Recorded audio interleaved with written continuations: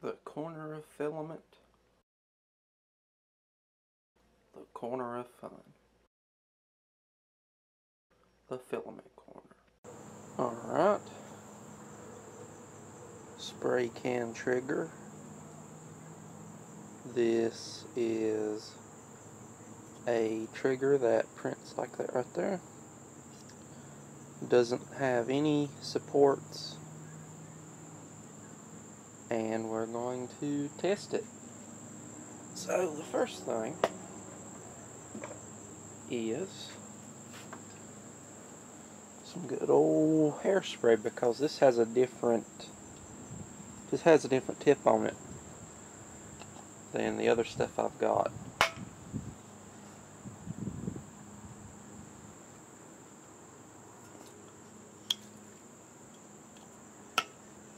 So it press fits and whenever you squeeze it goes down onto the tip and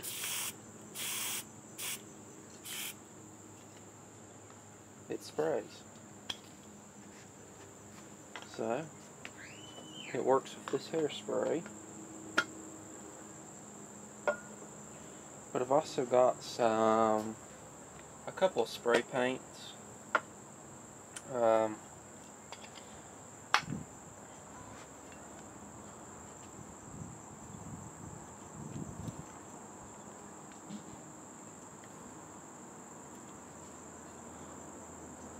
and this has free rotation so you do have to you do have to rotate it correctly whenever you pull the trigger.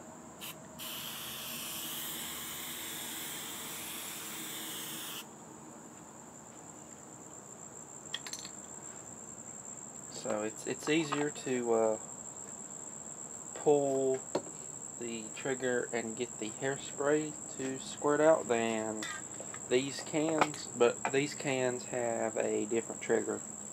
So, see, they have a different trigger than the uh, hairspray does, and I was trying to make this work for both of them.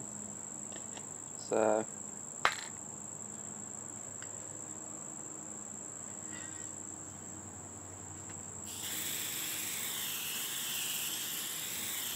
and then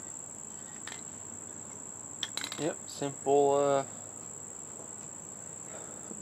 spray gun holder, trigger, gun, whatever they call them. They call them about 10 different things on the internet nowadays. Um, doesn't use any hardware, it's just printable. It press fits onto the can. As you can see, there's a, uh, this is got a little ridge on the inside and that keeps it on the can once you press it against the can. Now so the pros are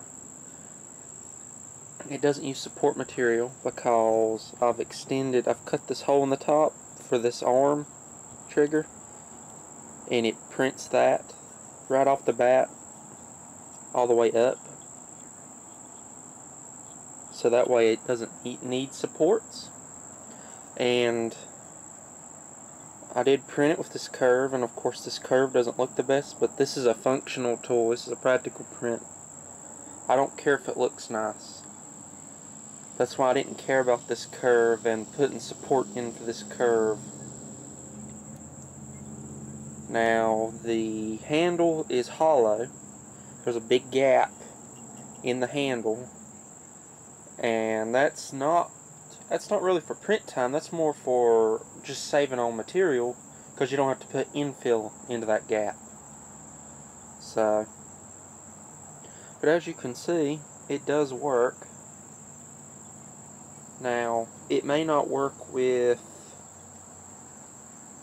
your machine. What I mean by that is this is a press fit. So, it may, your machine may have better tolerances than my machine. Or it may have worse tolerances. That's that's the downside to this. That's the con to this. So the pro is that, you know, it doesn't need hardware and you can print it without support material in one piece. But the con is that, well, it may not work on your machine. Your machine may be better than my machine. So that is a downside. And I do have a, well, not really a remedy, but a uh, a solution that I use for that, and I'll show it to you right here in a second. Alright, so my my little remedy, yes, and that's what it is, is this right here. May not look like much, but it's basically the bottom of the trigger. Only you don't have to print this to find out if it fits. So let me show you. Let me grab one of these cans here.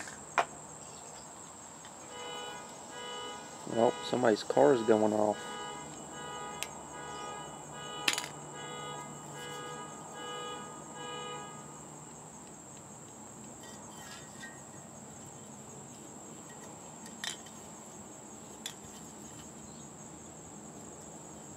So yeah, that's my that's my remedy to figuring out if this will work on your printer is to just print this instead of printing this. It may not sound too amazing, but it's better than printing this and it not fitting.